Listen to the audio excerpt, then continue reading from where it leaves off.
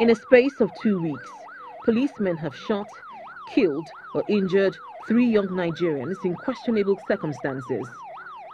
Kolade Johnson was shot and killed by the police at a viewing center in Lagos.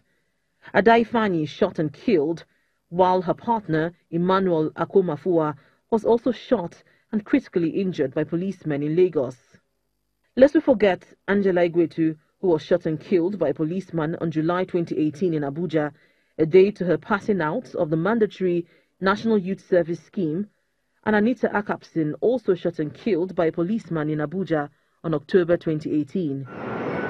Nigerians have expressed outrage by these extrajudicial killings by policemen, and a reaction to these tragic events spurred the End SARS campaign and advocacy against the unit in the police force accused of unlawful arrest and high-handedness. Those favor say aye. Those against say nay. The latest killing of Adai Fani in Lagos appears to have hastened the passage of the police reform bill by the Senate. The bill is expected to radically change the operations and effectiveness of the police and address the issue of extrajudicial killings.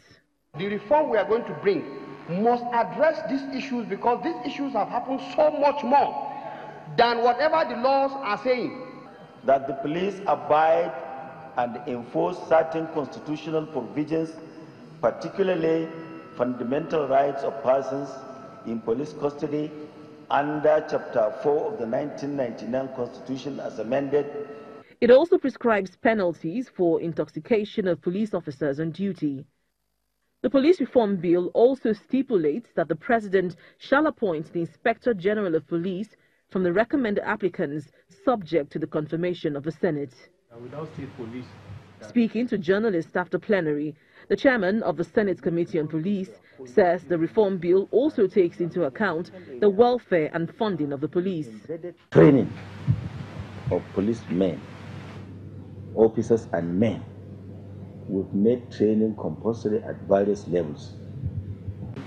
We have also looked at the welfare of police. This is one of the major problem areas of police. That's why they are always accused of being corrupt. But if your welfare is not being taken care of, the tendency is that you can go or any other side to survive. That is why we feel that death should we have to put a stop to that. The Senate has also reworked and passed the Electoral Act Amendment Bill 2019, the Petroleum Industry Governance Bill, and five other bills rejected by President Buhari. The upper chamber passed these bills after its technical committee worked on President Buhari's observations and redrafted the affected clauses. Linda Kibe, Channels Television News.